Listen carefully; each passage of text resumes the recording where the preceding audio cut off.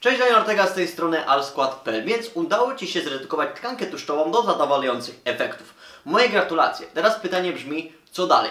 Co dalej masz zamiar z tym zrobić? Ponieważ każdy z nas ma inny cel, ma inną wizję sylwetki, więc niektórzy zaczną budować masę mięśniową. Niektórzy będą zadowoleni z tego, co mają i będą kontynuować swoje życie, ponieważ no, są szczęśliwi, że schudli parę kilogramów, nie mają tam jakiejś wiel wielkiej wizji sylwetki, po prostu chcą wyglądać zdrowo, chcą czuć się zdrowo i chcą żyć zdrowo. Ale niektórzy niestety doświadczają efekt jojo, czyli chudną, redukują tą tkankę tłuszczową, później tyją. Później okej, okay, kurczę, przytyłem, trzeba jeszcze raz chudnąć, więc robią to samo chudną i później znowu tyją. Czasami tyją mniej, czasami tyją więcej. Są różne przypadki. Więc co jest powodem? Czy nasze ciało w magiczny sposób, przez to, że było głodzone, w magiczny sposób uzupełnia ten nadmiar tłuszczu, czy wina leży po naszej stronie?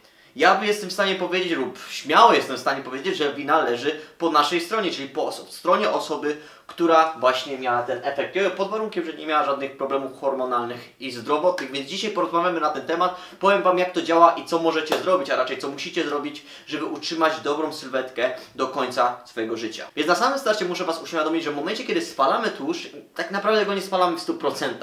Mam tu na myśli to, że w momencie, kiedy spalamy tłuszcz, tak, nie spalamy komórek tłuszczowych, spalamy zawartość tych komórek tłuszczowych. Więc wyobraźcie sobie, no tutaj mam dla przykładu 13 komórek tłuszczowych. Oczywiście musimy to liczyć w miliardach, ale dla przykładu mamy 13.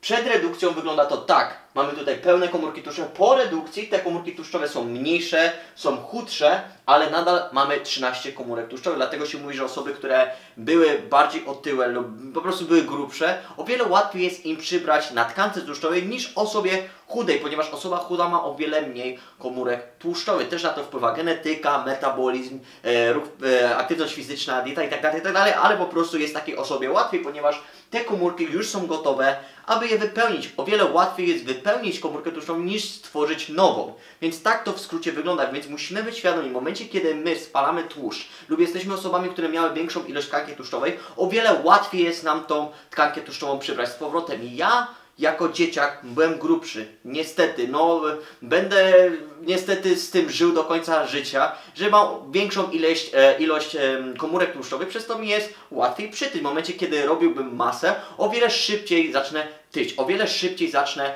e, mimo że buduję masę mięśniową, też będę też przybierać na tkance tłuszczowej, więc no niestety musimy z tym żyć, musimy sobie z tym poradzić. Więc w czym leży problem? Dlaczego wielu z nas wraca z powrotem do tej sylwetki, której tak nie chcieliśmy mieć, której chcieliśmy się pozbyć. Moim zdaniem głównym problemem, problemem numer jeden jest dieta. I teraz co mam na myśli, kiedy mówię dieta? Nie mam na myśli to, czego jemy. Mam na myśli samą koncepcję diety, samą filozofię. Kiedy myślimy dieta, jestem na diecie, to znaczy, że w pewnym momencie już nie będę na tej diecie. Znaczy, że w pewnym momencie ta dieta się skończy i mogę wrócić do no, jakiegokolwiek stylu życia miałem wcześniej, prawdopodobnie.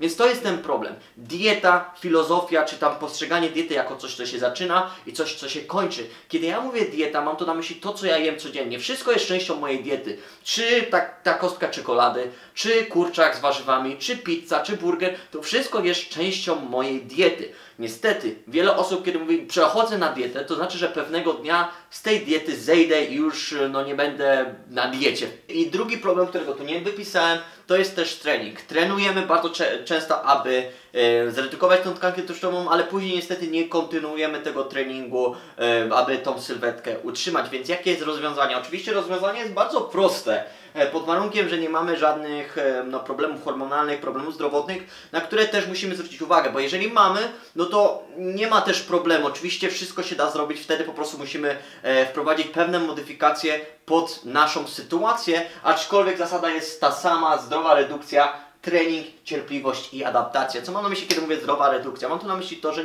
nie wchodzimy na super ekstremalne głodówki, czy diety czasem oczyszczające, czy diety, które e, zabraniają nam takich i różnych produktów. Słuchajcie, diet lub sposobów odżywiania, lubię tak mówić, sposobów odżywiania jest naprawdę wiele.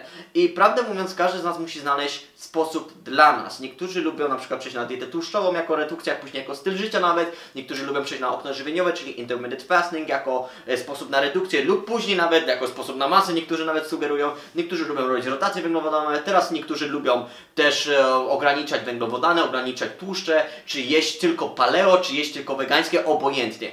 sposobów na odżywianie jest bardzo wiele. Rezultaty zawsze będą bardzo podobne.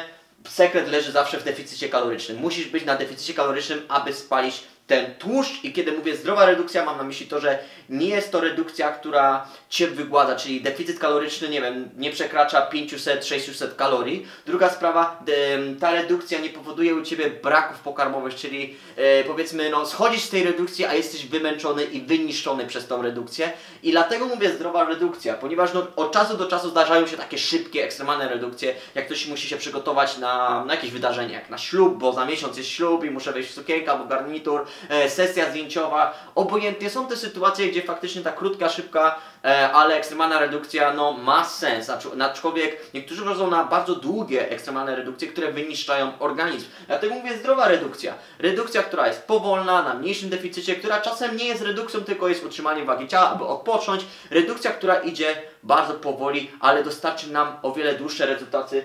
Więc następna rzecz to jest e, trening w momencie, kiedy trenujemy na redukcji, ja zawsze proponuję trenować siłowo, e, robić treningi cardio, obojętnie, jak to woli. Jeżeli ktoś chce skakać z chodakowcą, proszę bardzo. Jeżeli ktoś chce, nie wiem, robić e, Nordic Walking, proszę bardzo. Ktoś chce biegać z psem, proszę bardzo. Aktywność fizyczna zależy od Was, byle żebyście tą aktywność fizyczną zachowali e, po no, osiągnięciu tego celu redukcji. Następna rzecz, cierpliwość i adaptacja. Nasza sylwetka i my psychicznie musimy się zaadaptować do do tej sylwetki, do tego, co osiągnęliśmy, do tego, jak jemy, do tego, jak trenujemy. Więc od razu przejdźmy do najważniejszej rzeczy, czyli styl życia. To jest właśnie ta adaptacja, to jest właśnie ta cierpliwość, ponieważ aby wyrobić sobie nawyk, aby coś stało się naszym lub stało się częścią naszego stylu życia, musimy to robić wystarczająco długo. Niektórzy sugerują, że 67 dni potrzebujemy, aby wyrobić sobie pewien nawyk, więc uważam, że minimum 67 dni musimy coś robić, aby już weszło nam to powoli w krew. Wiadomo, im dłużej to robimy, tym mocniejszy ten nawyk jest, tym trudniejszy nawyk do pozbycia się. Bo na przykład ja trenuję już wiele lat, ja nie wyobrażam sobie życia bez treningu. Trening to jest coś normalnego dla mnie. To nie jest coś,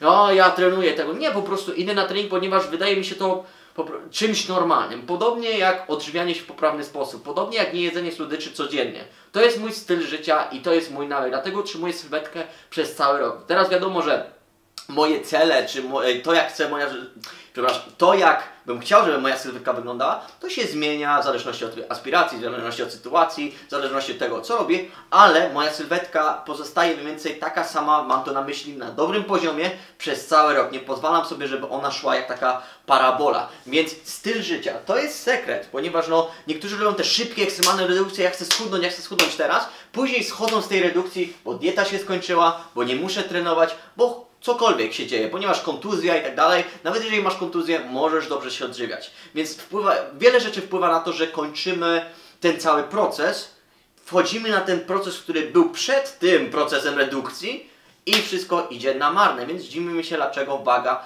nam idzie w górę. Więc idzie nam w górę, ponieważ o wiele łatwiej nam przybrać na tkance tłuszczowej, idzie nam w górę, ponieważ dieta się kończy, ponieważ byliśmy na diecie, już nie jesteśmy na diecie, idzie w górę, ponieważ już nie trenujemy, ponieważ nie musimy już trenować, ponieważ spaliliśmy tkankę tłuszczową, e, zrobiliśmy czasami zbyt ekstremalną, zbyt e, wyniszczającą redukcję, głodziliśmy się, przez to nasza psychika, niekoniecznie nasz organizm, bo nasz organizm może być wyniszczony, ok, ale nasza psychika na tym ucierpiała i przez to zaczynamy jeść, jeść, podjadać to, czego nie jedliśmy, bo już schudłem, bo jestem chudy, już mogę.